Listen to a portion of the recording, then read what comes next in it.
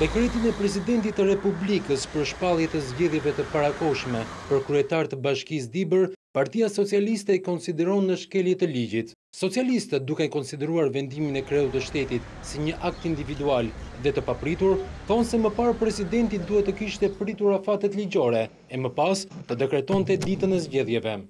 Në bazë të nenit njëqind e tridhjetë e dy, pika dy të Kushtetutës, vendimet e Gjykatës Kushtetuese hyjnë në fuqi ditën e publikimit në Fletoren Zyrtare.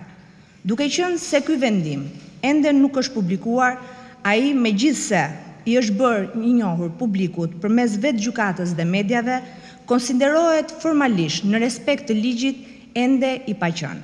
Pra vetëm pasi njoftohet për ekzistencën formale, hyrjen në fuqi të vendimit të Gjykatës Kushtetuese, i cili ka lënë në fuqi vendimin e Këshillit të Ministrave,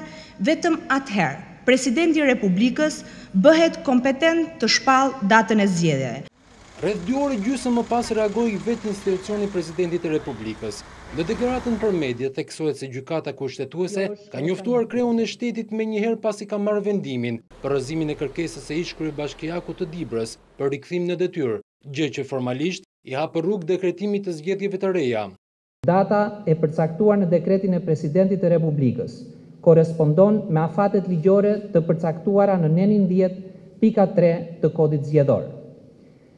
Rrjedhimisht, është lënë në fuqi vendimi i Këshillit të Ministrave, numër treqind e gjashtëdhjetë e një, datë trembëdhjetë i pesti dy mijë e gjashtëmbëdhjetë, për shkarkimin nga detyra të kryetarit të Bashkisë Dibër zoti Shuki Xhelili, vendim i cili kujtojmë se është botuar në Fletoren Zyrtare me numër tetëdhjetë e një të datës shtatëmbëdhjetë maj dy mijë e gjashtëmbëdhjetë. Institucioni i Presidentit të Republikës i shpreh keqardhjen opinionit publik për përhapjen te ai të informacioneve të pavërteta rreth përcaktimeve ligjore dhe kushtetuese që rregullojnë organizimin e zgjedhjeve në vend,